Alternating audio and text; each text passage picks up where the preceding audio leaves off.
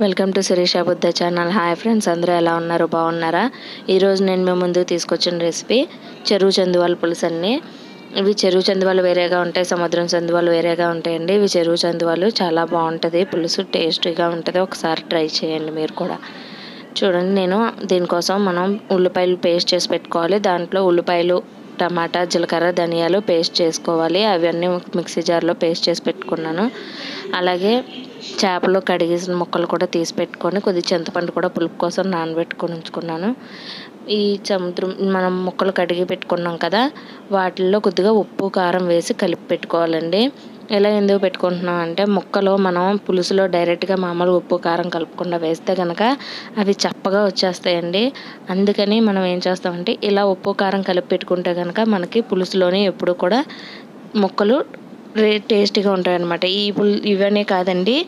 ఏ చేపలైనా సరే మనం పులుసు చేసుకునేటప్పుడు ముందుగుండా కొద్దిగా ఇలా ఉప్పు కారం కలిపి పెట్టుకుంటే కనుక పులుసులో వేసుకున్న తర్వాత మనకి కూర తినేటప్పుడు చేప ముక్క మనకి చప్పగా రాదనమాట కొంతమంది చేపలు పెడతారు కానీ పులుసు అవి కొంచెం చప్పగా వస్తాయి. ముక్కలు పులుసు అంత టేస్టీగా ఉన్న చేప ముక్కలు చప్పగా వస్తాయి. కాబట్టి మనం ముందు ఇలా రెడీ పెట్టుకున్నాము అని అంటే కనుక అవి అప్పుడు ముక్కలు కూడా మనకి టేస్ట్ బాగుంటాయి అన్నమాట. చూడండి అన్నిటికి ఇలా కలిసేలా కలిపేసుకొని పక్కన పెట్టుకోవాలి. తర్వాత మనం స్టవ్ ఆన్ చేసుకొని కడాయి పెట్టేసుకుందాం. చూడండి నేను కడాయి పెట్టేసుకున్నాను. దీంట్లో కొద్దిగా ఆయిల్ వేసుకోవాలి.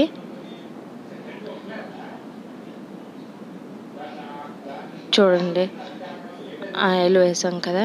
ఇందులోనే కొద్దిగా పచ్చిమిర్చి మనం ముందుగానే ఉల్లిపాయలు టమాటా అవి మసాలా మొద్దు రెడీ చేసి పెట్టుకున్నాం కదా ఆ మసాలా మొద్దు కూడా వేసుకోవాలి.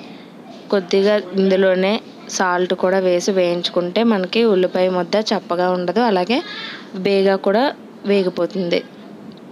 చూడండి చక్కగా వేగిపోతుంది కదా. ఇందులోనే మనం కొద్దిగా అల్లం వెల్లుల్లి పేస్టు అలాగే కొంచెం కరివేపాకు కూడా వేసుకోవాలి. కొద్దిగా కరివేపాకు వేసుకుంటే మనకి పులుసు రుచి బాగుంటుందండి. ఈ ఏదైనా సరే కర్రీలోని ఖచ్చితంగా మనం కరివేపాకు వేసుకుంటే టేస్ట్ చాలా బాగా వస్తుంది.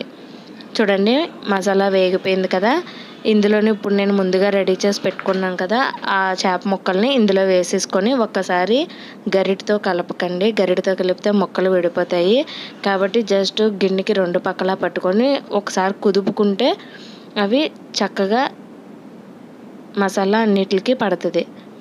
ఒక ఐదు నిమిషాలు మూత పెట్టి ఉంచుకుంటే కనుక అవి మసాలా ఉల్లిపాయ మొత్తం ఉంది కదా అవి వాటికి పడతాయండి. ఆ తర్వాత మనం ఇందులోనే మనం చింతపండు నానబెట్టుకున్నాం కదా ఆ పులుపు వేసేసుకోవాలి. చూడండి నేను ఎడ్జెస్లోనే కలిపాను గమనించారు కదా. మధ్యలోనే అది మనం ఇష్టం వచ్చినట్టు కలిపేసామంటే ముక్కలు ఖచ్చితంగా విడిపోతాయి. నేను పులుపు వేస్తానండి వేసి కొద్దిసేపు ఉడికించేసుకున్నాను. కొద్దిగా దగ్గరికి అయిన తర్వాత కొత్తిమీర వేసి దించేసుకోవాలి. చూడండి. నేను ఆల్రెడీ స్టవ్ మించి దించాను.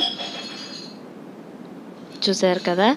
చక్కగా వచ్చింది. దీంట్లోనే ఇష్టం ఉంటే కొంచెం బెల్లం వేసుకోండి. బెల్లం వేసుకుంటే టేస్ట్ బాగుంటుంది. పైన గార్నిషింగ్కి కొద్ది కొత్తిమీర వేసుకుంటే కొత్తిమీర స్మెల్ బాగా వస్తుందండి. థ్యాంక్స్ ఫర్ వాచింగ్ ఫ్రెండ్స్ మీకు ఈ వీడియో నచ్చినట్లయితే లైక్ చేయండి షేర్ చేయండి. అలాగే నా ఛానల్ని సబ్స్క్రైబ్ చేసుకోండి.